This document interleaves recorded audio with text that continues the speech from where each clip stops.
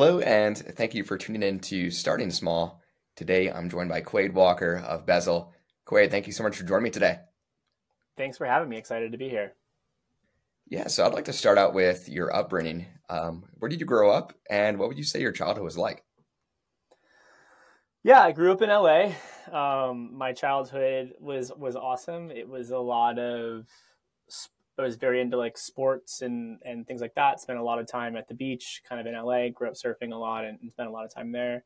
And then I had kind of very much like a creative side. So I did a lot of like art as a kid. Was really into design and and things like that. And that ultimately kind of pushed me. I think into kind of what I what I wanted to do professionally and and kind of what I ended up going to college for and, and things like that. So um, yeah, that was kind of the the genesis for all of that. For sure. I'm, I'm curious, like as a kid growing up, what were some of your aspirations or what did you enjoy doing? Like sports or lemonade stands? Where did you have an entrepreneurial spirit? What, what was that like? Yeah, I think I kind of always had an interest in making stuff. Like I think design for me became kind of the catalyst to to creating stuff in a way like I I was always in the kind of like my dad's workshop. My dad was very handy growing up. Like he he built kind of the first house that we had and spent a lot of time like you know making stuff in front of me. And so i just i grew up with a passion for that generally but it wasn't super tactile. Like i didn't i wasn't like a particularly good builder physically and things like that. So um, i got really into technology as soon as that kind of became available to me. So like when the iphone came out and things like that i just like nerded out a ton in the intersection of design and technology and it finally became mm. this really interesting opportunity where I felt like I could like make things in a very physical way and, and kind of create stuff and and release them in the world and I got really sucked into like apps and the construct of building that um, mm. but yeah that was kind of like later in in high school and kind of early college for the majority of like my childhood it was obsession I played soccer growing up very competitively so mm. it hmm. was a lot of sports and a lot of travel for that. And so I think like when I was a kid, I I always had ambitions of like being entrepreneurial, but you know, half of my childhood was very baked and I just wanted to play sports and I wanted to surf and I wanted to be my friends and, and kind of do that. For sure. So it was really I got an awesome opportunity my senior year summer in high school where a family friend of mine had mentioned that they had worked with uh, you know a designer, and the designer was super successful and had like kind of led design at Nokia. His name was Frank Nuovo. Um, mm. He had some connection to him, and so I emailed him probably every week for almost a year, just trying to get his attention. And because I was just a kid in high school, and like I think it, I was not going to provide a lot of value for his his design and his design studio, so finally. Yeah he uh, gave me kind of the initial meeting. And i just begged him to have access to like an internship or something. I didn't want to get paid. I just wanted to like spend time and, and learn via osmosis. And so that was my first kind of entryway into becoming a designer. And, and when i say a designer i didn't even know i ended up being like a product designer. But at the time i just like had this esoteric understanding of wanting to make stuff creatively. So they were industrial yeah. designers they were doing digital design and i got a great feel of everything and kind of fell into the the role that i ended up having later in my career at google and then ultimately which drove me to, to bezel. Wow. Very cool. So this role that you kind of just cold outreached on was this all prior to uh, your college education? Did you continue that going into school? Or what did that look like? Yeah so it was really interesting. Um, i knew when i wanted to go to school i wanted to study kind of the overlap of business and design. And i didn't have a really good reason for that. I think like there's probably this this like internal interest in like building a business around it. Like i maybe it was to make my parents happy. Like there was some there was some aspect that made me want to like talk through the monetary side of it and the financial side of it and like being able to build something with it. So i knew that business needed to be involved with it but I also wanted to go to art school. Um, mm. I didn't know what that meant. I knew that I wanted to do graphic design or like some portion of design. And then yeah. I got kind of wiped into this like product design world with the internship before college. I spent a bunch of time figuring out like what schools made the most sense. I ended up landing on on Washington University in St. Louis because they had a really amazing business program in, in kind of the Olin School of Business, and they had a really strong art program in, in Sam Fox. So it allowed me to do a dual degree there. So hmm. uh, got laser focused on too many things at once. I would say I took way too many credits.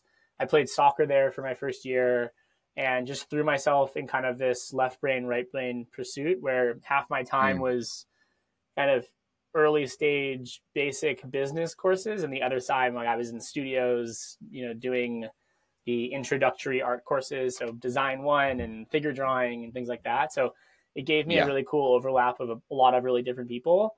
Um, so that's kind of how I continued into college. And while I was there, I just got so lucky to have worked with the agency that I worked for the summer before. So they kept me on mm-hmm. as kind of like a consultant at, at afar. And, and so I, yeah. before working remotely was cool or, or like a thing, they allowed me to kind of do projects while I was in college and still keep in touch with them. I took on mm. clients through them and, and we did a lot of awesome work. And it just kept my passion, you know, really fueled for the prospect of designing digital products. Yeah, um, for sure. And so it was just super fun. And then from there, I ended up dropping out of college as a sophomore because mm. they ended up giving me like more of a full time role there. And so I got to work with really what our client at the time was Samsung. We were working on a really cool mm. project. I was really excited about it.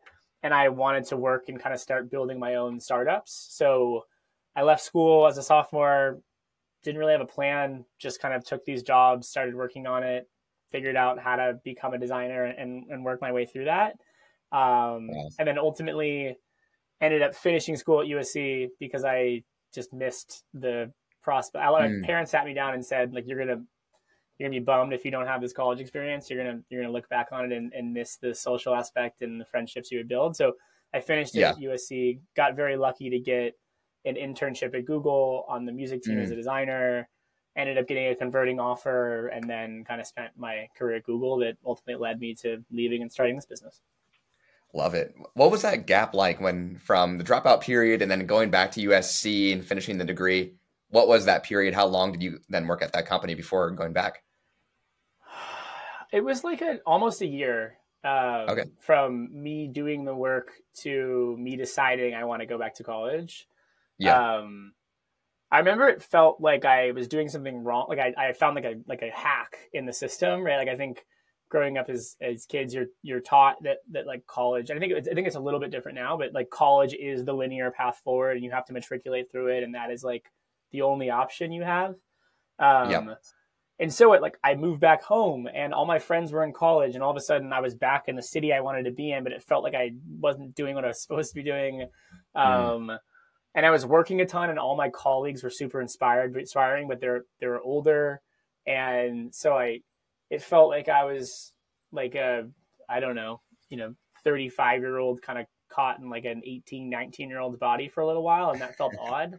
Um, yeah, it's really cool for a few months, and then you're like, where are my friends? Like, I'm missing out. I'm getting Snapchats of everyone doing fun things. You have serious FOMO, and I was just such a nerd and, and very laser focused on wanting to make stuff that I was super fueled. Like the prospect of getting flown out to a different city by a company to do consult like that was the staying in a hotel and having a business mm. pay for it was just like the coolest thing. Oh, I get um, it for sure. So I was lost in that, and then I don't know. About a year into it, I was like, okay, I got to go back to school and have some fun and make some friends and you know be normal kid for a little while. So before we get into Bezel, I, would, I definitely want to cover some of your journey within Google. We have a lot of tech founders and tech enthusiasts who listen. What what did that onboarding process look like? So you joined as an intern and then eventually mm-hmm. full time. What does that onboarding kind of process look like at a company like Google? Yeah, it was it was an awesome experience. I mean, it's the coolest place to intern. I'm very biased, but it, I think they they nailed that experience. Learned a ton, um, and just you feel so supported the whole way. And I remember leaving the internship, which is like a job. I remember leaving the job. Yeah not knowing if I was coming back, but being so sad to be leaving because mm. it just felt, I don't know, like it has this, especially at that stage in your life, it has this feeling of being on like a college campus, but everyone's incredibly intelligent. Like I've never been around so many like concentrated, very smart individuals.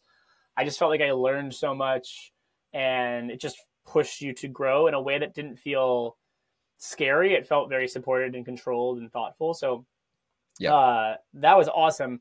The converting process, you have to do a bunch of different interviews. Like it's not just, I don't know if it's, it's been, you know, two and a half years since I've been in, you know, I've been interviewing folks at Google for, for roles, but uh, yep. you had to go through converting interviews and like, it wasn't like just knock out the internship out of the park and then you get a job. It was very procedural and there's a lot of checks and balances associated with that. So I mm-hmm. left mm-hmm. after the summer, not knowing if I would come back, but I did all my conversion stuff. And then I found out in the fall of my senior year that I had gotten a converting offer and called my mom, mm-hmm. and it was you know a very emotional, great moment, which is great.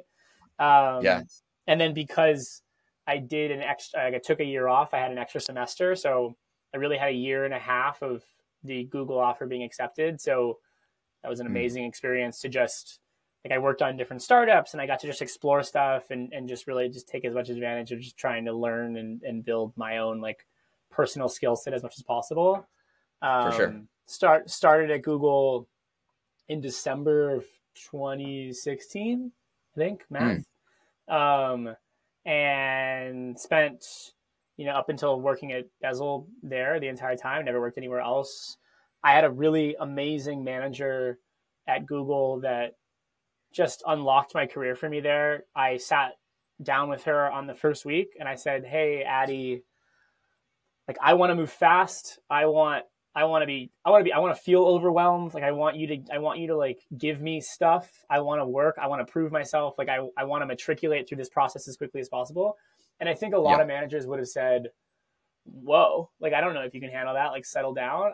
I think her response was amazing in the sense that it was like, "Okay, great. Like let's here's mm-hmm. what you have to do if that's the path that you want to be on." So she's yeah. just made it happen for me. I, I just worked super, super hard, went kind of through the system very quickly, and ended up putting myself in a position where I, I had a, a, really amazing opportunity where a lot of folks within Google were thinking about starting kind of a new project. Um, and mm-hmm. a lot of them are working on it kind of on the side. And the bet was uh, like you had products like Amazon Fire TV and you had Apple TV, and like Google didn't really have a TV narrative in the sense that it was like aggregation and, and doing cool stuff. So, um, yep.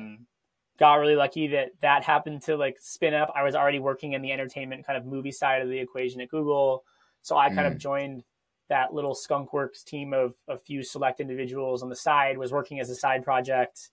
We ended Very up, cool. or they ended up raising money internally. And then that became like my full-time job. And, you know, now it's hundreds of people work on it. And it was a really awesome kind of zero to one, I had always hmm. thought I would go to Google, work there for a year or two, get that on my resume and get that credibility associated with like working on big projects. And then I would go start yeah. something. But I kind of got to feel like I, I was on a, you know, the ground floor of a startup within Google and that just kept me there for, you know, five or so years.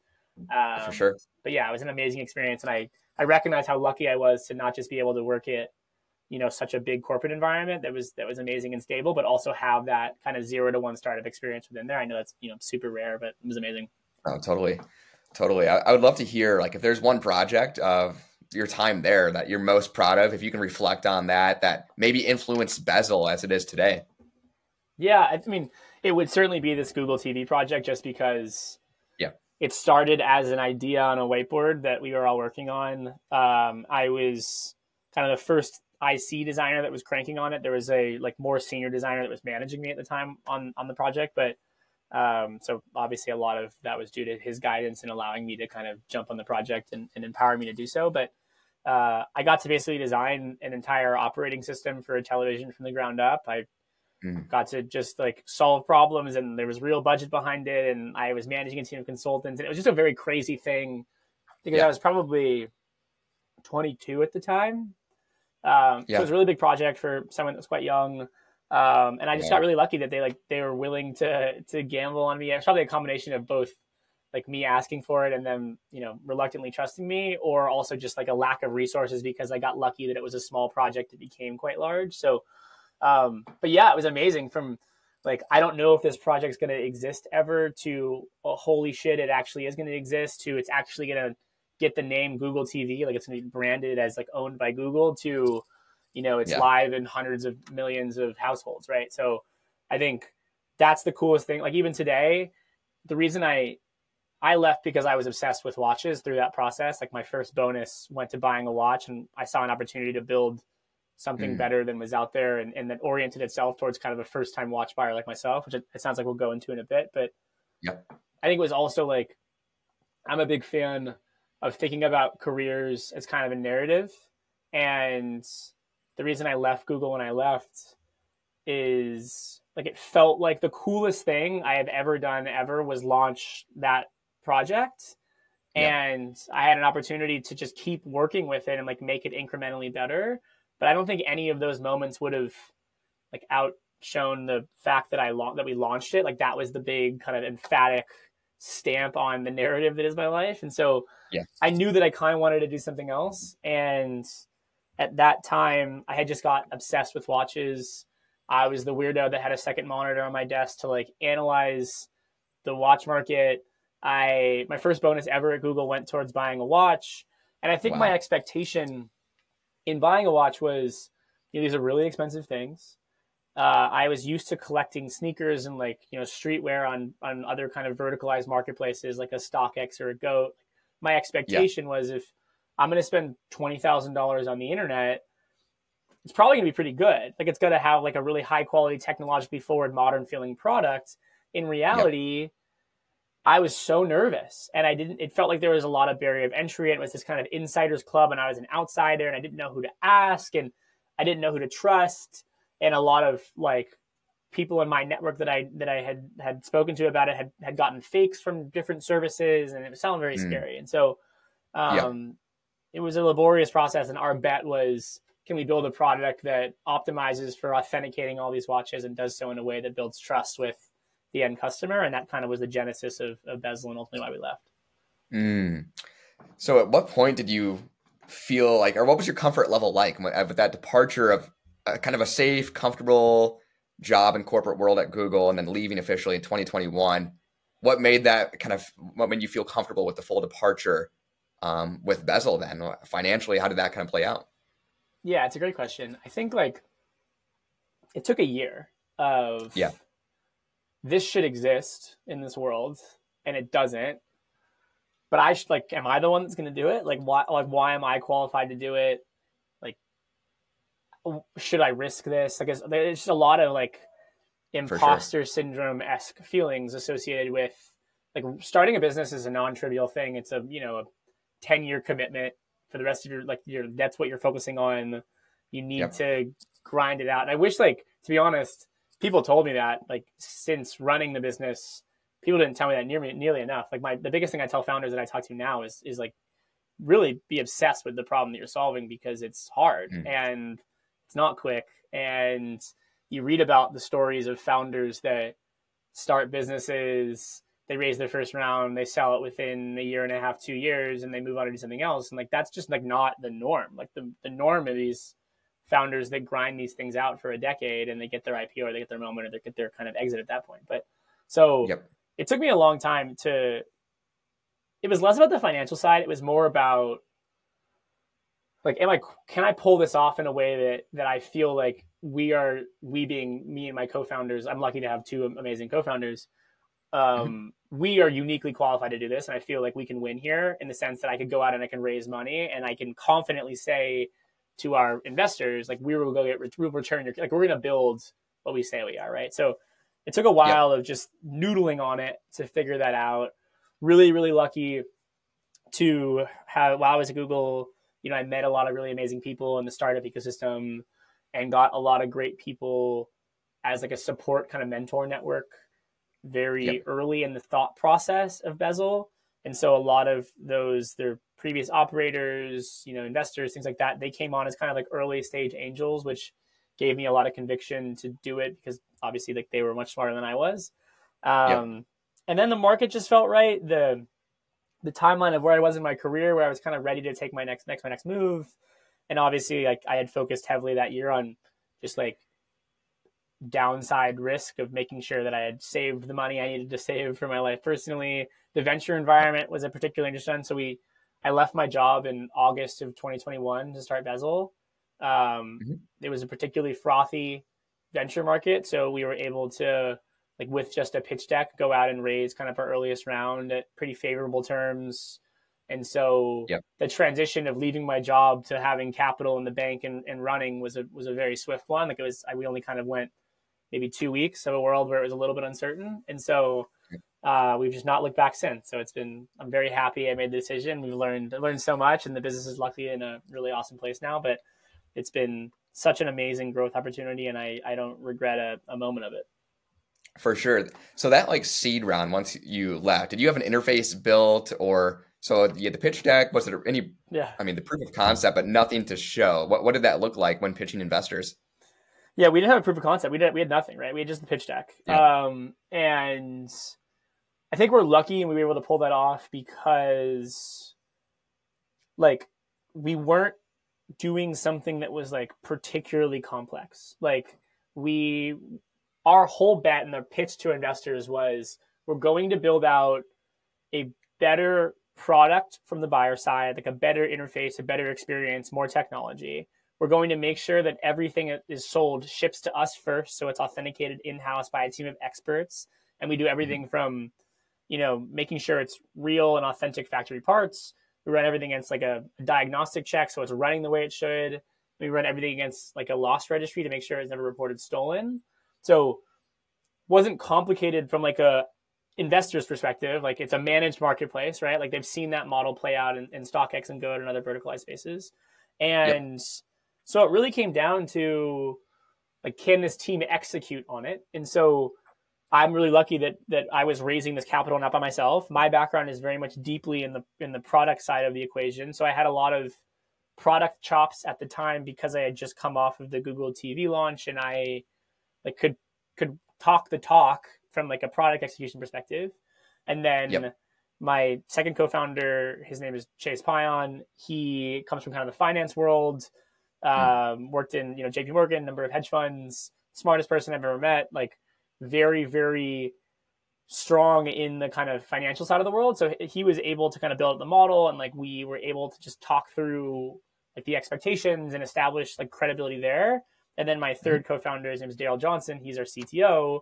Him and I had started a, a, business in the past together, and then he was at Google as well for you know five or so years. So we kind of had the the three equation there that like could build a, a thoughtful product. And then our our first hire was um, used to be a director of private sales at Sotheby's. His name is Ryan Chong, and he handles kind of our, our watch department and, and kind of built everything mm. underneath him from an authenticity perspective. So we just yeah. had the right people around the table.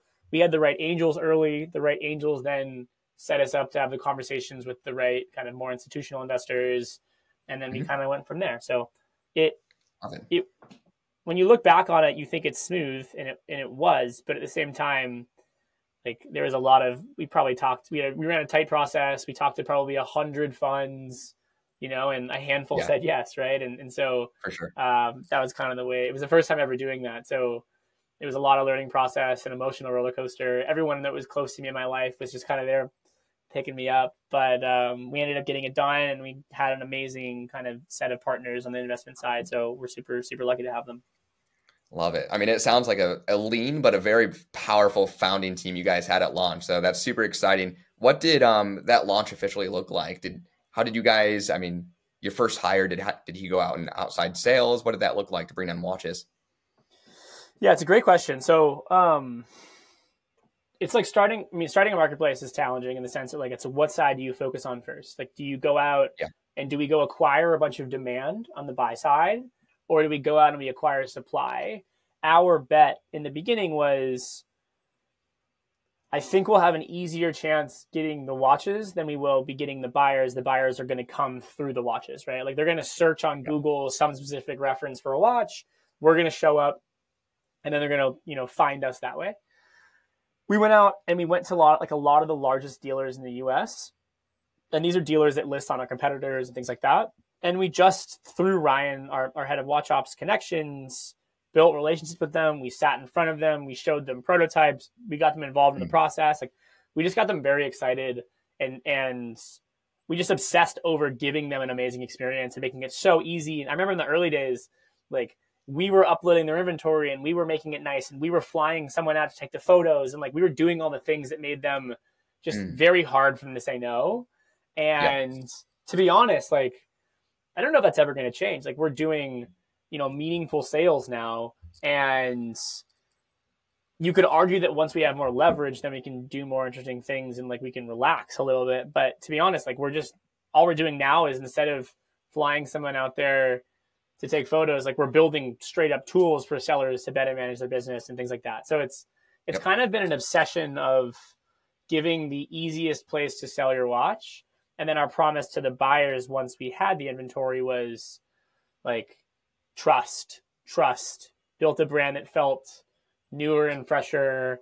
We were very lucky and, and strategic in the fundraising round to get a lot of big names that mm-hmm. are massive collectors around the cap table. So, you know, folks like Kevin Hart and John Legend and and Steve Aoki and Michael Rubin were like all in the the initial round. And yeah, I think that was just an exercise in telling the story to them as collectors because they love watches and sure. they've all felt the feeling of not knowing if they're getting something legitimate even though they're so incredibly famous and have access to so many awesome things like i think you still can't find watches sometimes and you're still nervous and you feel like you don't know who to trust it resonated with them and it allowed us to leverage kind of their brand in the early days when we were mm. trying to acquire customers and get press because our average order value is twelve thousand dollars, right? Like it's wow. it's not a small purchase. So the question is, how do you convince a consumer that that you you can be trusted with their money? And it's a massive responsibility. So a lot of a lot of what we built was like taking the first year really to make sure the product is perfect, to build the brand, to make sure everything was in the right place where we would not make mistakes. Obviously, mm-hmm. having a plan if mistakes happen. So we, we ran a a closed beta of the product for the first year or so, and then uh, really launched officially in June of 22 was when we pulled the waitlist off. And then we really yep. announced ourselves like in the press and announced the round and everything in January of 23. So it was a lot of heads down work before we even really existed as a business. Yeah. I mean, having notable investors like that from the start is definitely a big momentum push, um, credibility factor, as you mentioned. Uh, but for the listeners out there, what does the authentication process look like from Bezel's point of view? So you do develop that trust. What does that look like overall? Yeah, and I think like what we realized in the early days was authentic authentication. Like that word is is so overused that yeah, like we meant it seriously, but it was kind of like people would glaze their eyes over because a lot of folks that didn't mean it seriously would say it or like it just didn't resonate the way that we wanted it to to customers so we realized very early that it was less about talking the talk and more about walking the walk so mm. like how do we obsess over having the most kind of stringent high touch authentication process in the industry and then how do we showcase that how do we walk folks through that how do we be very, very transparent about that create content around that so high level, the way that we think about authentication is like a top of funnel and a bottom of funnel solution. The top of funnel mm-hmm. is when someone lists a watch on our platform, we don't want to just like let them do that, right? Like we want to make sure that someone on our team is reviewing that listing before it goes live to make sure there's nothing like glaringly wrong with that. So like it's hard to say that we're authentic if you then would browse our marketplace and you could find a couple you know things that would not de- be deemed as like you know factory or things like that right so that's where the authentication starts. And then once a watch is sold, the seller overnights the watch to us. We own that process. Like we send them the label, they send it to us, and then we spend a day or two with every watch in the actual Bezel HQ. Uh, we have a number mm-hmm. of kind of like watchmakers and authenticators in the office. As I mentioned mm-hmm. earlier, it goes through multiple folks' hands on the authenticity side. So they're looking at it under like deep magnification. They're looking at all aspects of the watch. They're examining the kind of accessories, the paperwork, things like that. Once it passes yeah. that, it gets handed off to like one of our match our, our watchmakers. Uh, then we're diagnostic checking. So we're going through a time loss test, a pressure test, uh, and then ultimately kind of when it passes kind of a performance check. Because the goal there is if it's authentic, but you're buying a dive watch and you can't actually take it in the water because it doesn't pass pressure, that sucks. Like that's that's not the buyer experience that we want. So we want to make yep. sure it's performing the way that it should. and then we run everything against a loss registry, it's it's crazy. So a lot of the watches that that we had come through like have actually been reported stolen in wow. you know some we we had a watch that was a 70 or so thousand dollar watch that was reported stolen in like a high profile samurai sword heist in London. And wow. if you're the buyer and you didn't have that check done, you would have no recourse if an insurance company or the authorities at some point mm. realize you had the watch because it's technically not, even though you paid for it, it's not yeah. actually your watch. So um, our goal was to just protect buyers and make sure that they were getting what they expected. And the staggering numbers, we released this in Q3 of last year, but 23% of the watches that are attempted to be sold are blocked at some way through that process. So mm. almost a quarter of the watches, and our sellers represent the best sellers in the US today, have yep. some issue that we feel like is not good enough to pass on to our buyers. And mm. that's kind of why, you know, we do this. It's like it's a massive problem and these are really celebratory, super expensive luxury items. And we don't want our buyers to spend a second worrying if they made the right choice or not. For sure. What What do you do if like a ma- major issue pops up or reported stolen, as you mentioned? What does that look like? Do you guys send it back? Does it cause a lot of conflict? Like, how does that play out? It's a great question. So the cool thing is, is the way the process works is when a buyer checks out on the watch, like we hold the funds in escrow, and then the mm-hmm. seller ships us the watch. So like no payment has changed hands until it's deemed authentic. So if it's deemed yeah. authentic, the funds are passed off to the seller. And the cool thing is because we're we're the ones that are deeming it authentic. We're able to pay sellers much faster than any of kind of our competitors are able to. Like they get paid typically within like two to three days of the sale, uh, which mm. is hmm. crazy fast for the industry. Yep. Um, if it's deemed inauthentic, it's typically a process of talking with the buyer, explaining transparently the situation that happened and what's going on, and the sale is, is reversed back to the seller. We have a kind of payment system, so if sellers are sending us things that are not authentic, they're like fee structure goes up until the point that they're like no longer allowed to be a seller. It depends how egregious, obviously, the offense is. And then with the mm-hmm. buyer, mm-hmm. the cool process is we're able to kind of protect them in that case. And then our concierge team is so quick that we, you know, you know, in more cases than not, are able to source the same watch for them at the same price, at the same quality, very, very quickly. So typically, like you know, within a day or two, we've replaced your watch with something else. Mm. Obviously, it's entirely up to the buyer if that's something they'd like to do, but majority of yep. the cases ended up doing that. So that was our biggest fear, though, when starting this business. When we just had the pitch deck, it was okay. So we're going to protect buyers, right? But that's still a bad experience. If you wanted to buy this thing, you're really excited. You're like, wait, you press purchase, and you're like, you can't wait till it gets delivered. If, if anyone's like me, like yeah. when I buy something new I can't wait to wear it. I'm going to wear it that night. Like I'm obsessed with getting something if I bought it. For and sure. I might, we may be protecting you, but you're ultimately not getting your thing or you're getting it at some degree of a delay. Like that sucks. And so mm-hmm. that was a big concern. But in reality, what we found is it's just such a visceral example of why we need to exist for the buyer that uh, most of the buyers like get a real walk, kind of walk the walk type of an example of, of why this exists and, and why we take so much care here that they end up kind of becoming some of our more loyal repeat purchasers because they got to experience the actual check. So for sure. Great. So, I mean, you you mentioned the average order value um, kind of initially, but if you can, can you depict maybe what that largest transaction might have been uh, in Bezel history so far?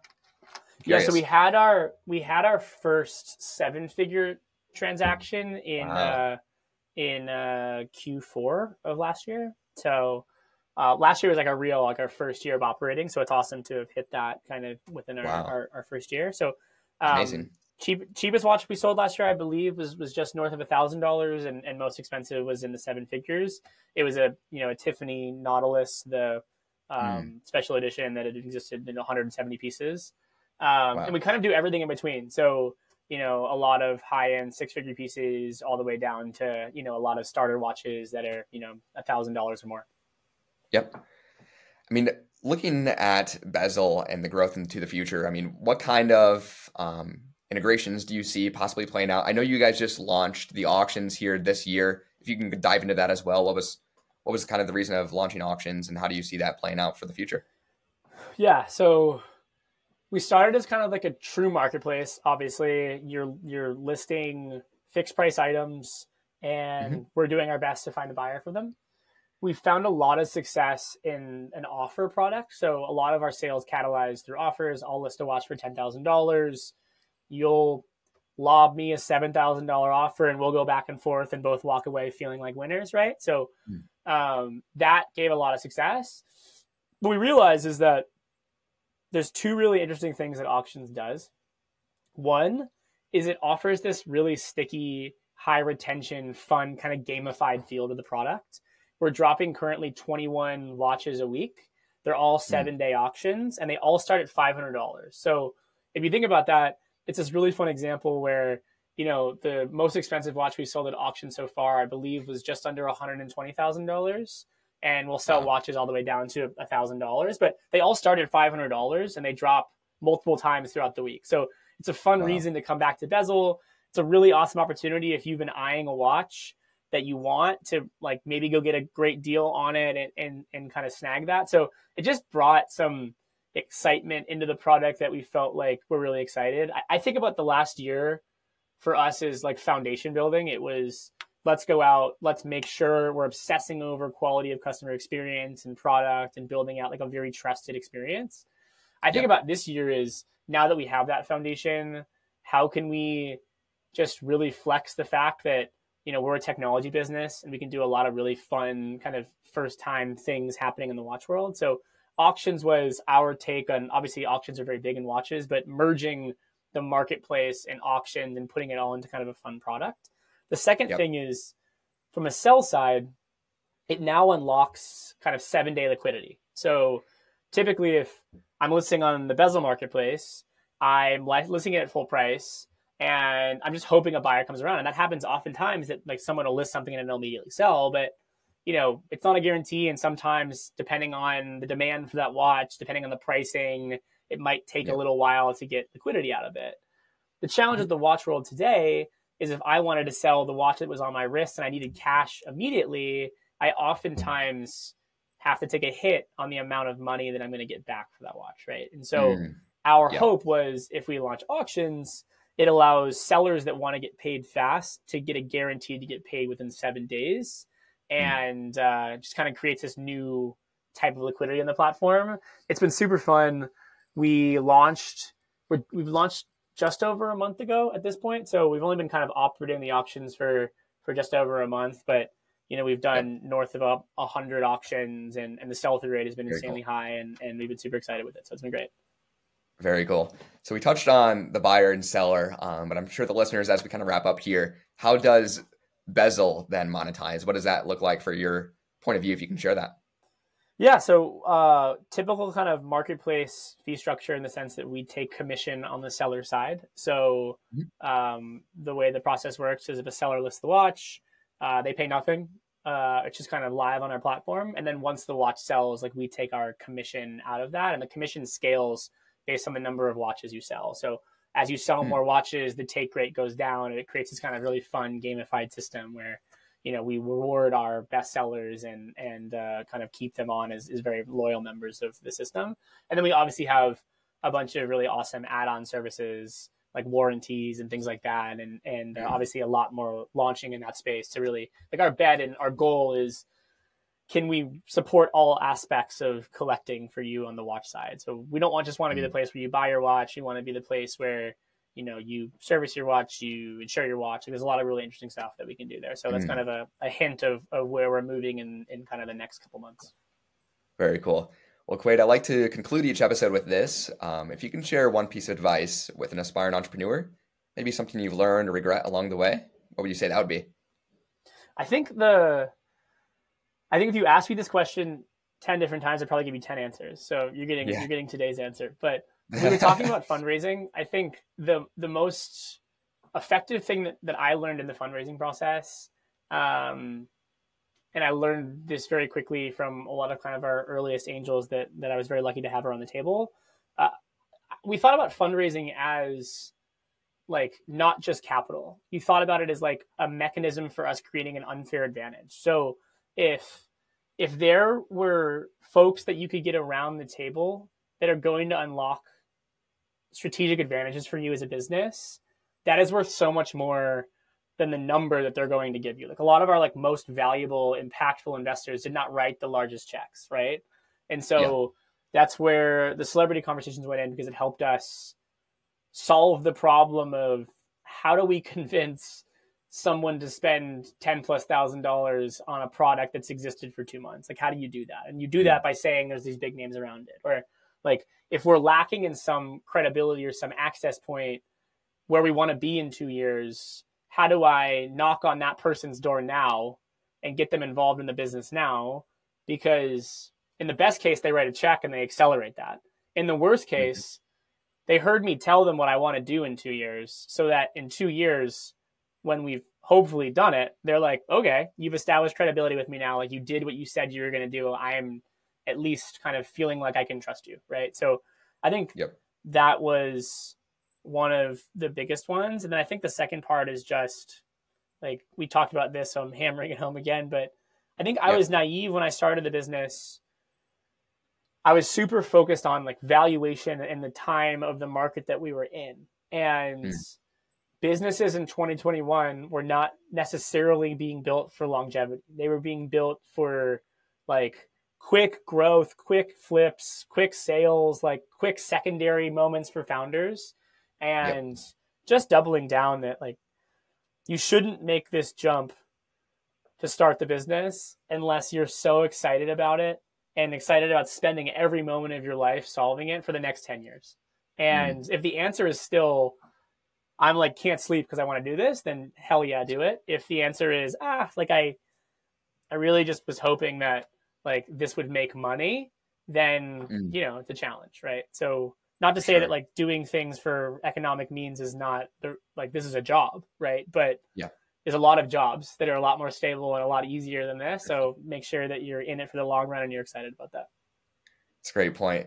Well, Quaid, thank you so much for joining me today. And to the listeners out there, make sure to uh, check out shop.getbezel.com.